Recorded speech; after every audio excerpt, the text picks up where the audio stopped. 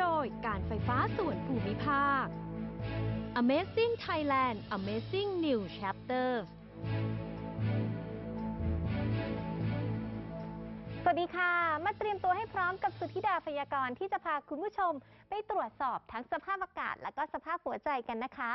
ช่วงนี้ความหนาวยังอยู่กับเราในบางพื้นที่ค่ะ เพราะว่าลมฝ่ายตะวันตกในระดับบนนะคะ ยังคงพัดปกคลุมภาคเหนือและภาคอีสานค่ะทำให้อากาศยังหนาวเย็นชื่นใจ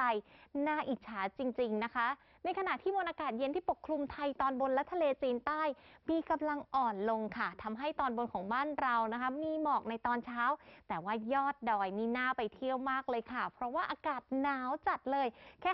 5-12 องศาค่ะ ส่วนยอดภูก็หนาวเหมือนกัน 9-15 องศา ฟินๆ กันไปเลยค่ะสวนมรสุมตะวันออกเฉียงเหนือที่พัดปกคลุมภาคใต้นะคะ ก็มีกำลังอ่อนทำให้ระยะนี้มีฝนเล็กน้อยได้ค่ะ ช่วงนี้เราไปตรวจสอบสภาพอากาศรายภาคกันต่อค่ะ เริ่มที่ภาคเหนือนะคะ อากาศหนาวเย็นแล้วก็มีหมอกในตอนเช้าค่ะ อุณหภูมิต่ำสุด 12 องศาสูงสุด 35 องศาค่ะ ส่วนภาคอีสานอากาศก็เย็นเหมือนกัน แล้วก็มีหมอกในตอนเช้าด้วย ต่ำสุด 17 องศาสูงสุด 35 องศาค่ะ ภาคกลางและภาคตะวันออกนะคะ มีเมฆบางส่วนแล้วก็มีหมอกในตอนเช้าๆอุณหภูมิต่ำสุด 23 องศาสูงสุด 36 องศาค่ะลงไปที่ภาคใต้ฝั่งอ่าวไทยช่วงนี้จะมีเมฆบางส่วนแล้วก็มีฝนเล็กน้อยบางแห่งค่ะ อุณหภูมิต่ำสุด 21 องศา สูงสุด 35 องศาค่ะ ส่วนที่ฝั่งอันดามันนะคะ เหมือนกันเลยค่ะ มีเมฆบางส่วนแล้วก็มีฝนเล็กน้อยค่ะ อุณหภูมิต่ำสุด 22 องศา สูงสุด 36 องศาค่ะ กลับขึ้นมาที่กรุงเทพและปริมณฑลมีเมฆบางส่วน แล้วก็มีหมอกบางๆ ในยามเช้า อุณหภูมิต่ำสุด 23 องศา สูงสุด 35 องศาค่ะขณะที่สถานการณ์ฝุ่น PM 2.5 วันนี้นะคะ มีหลายพื้นที่ที่เกินค่ามาตรฐานค่ะ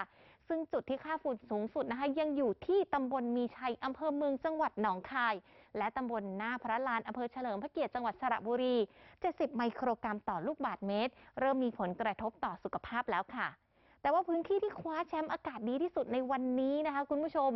ที่เดิมเลยค่ะ ที่ตำบลสุเทพอำเภอเมืองจังหวัดเชียงใหม่ค่ะ ค่าฝุ่นน้อยลงนะคะ เหลือแค่ 8 ไมโครกรัมต่อลูกบาศก์เมตร เช่นเดียวกับค่าฝุ่นในกรุงเทพก็ดีเหมือนกันค่ะช่วงนี้ และไม่ได้ดีแค่วันนี้นะคะ เพราะว่าอากาศจะดีไปจนถึงปลายสัปดาห์หน้าเลยค่ะ ส่วนภาคเหนือนะคะ ไม่ว่าจะเป็นตอนบนและตอนล่างนี่ก็ไม่ยอมแพ้อากาศจะดีดีตลอดทั้งสัปดาห์เหมือนกันเลยค่ะ แต่ที่น่าห่วงค่ะก็คือ จุดความร้อนนั่นเอง เพราะว่าเมื่อวานนี้นะคะพุ่งทะยานไปถึง 902 จุด เพิ่มขึ้นจากวันก่อน 537 จุดเลย พบมากที่ภาคเหนือนะคะ แล้วก็กระจายตัวอยู่ในภาคอีสานและภาคกลาง คาดว่าเกิดจากการเตรียมพื้นที่ทางการเกษตร หรือว่าการเข้าไปหาของป่า ซึ่งถ้าเยอะแบบนี้นะคะ อาจจะส่งผลถึงค่าฝุ่นในอนาคตได้ นอกจากต้องเฝ้าระวังเรื่องฝุ่นแล้ว เรื่องโควิดก็ห้ามลืมเลยนะคะ โดยเฉพาะเทศกาลตรุษจีนที่จะเริ่มขึ้นในวันพรุ่งนี้ เชื่อว่าหลายครอบครัวอาจจะนัดรวมญาติ พบปะทานข้าวกัน ก็ต้องดูแลตัวเองด้วยการสวมแมสขณะออกจากบ้าน ล้างมือด้วยเจลแอลกอฮอล์บ่อยๆนะคะ สุธิดาเข้าใจค่ะว่าตรุษจีนปีหนึ่งเนี่ยมีแค่ครั้งเดียว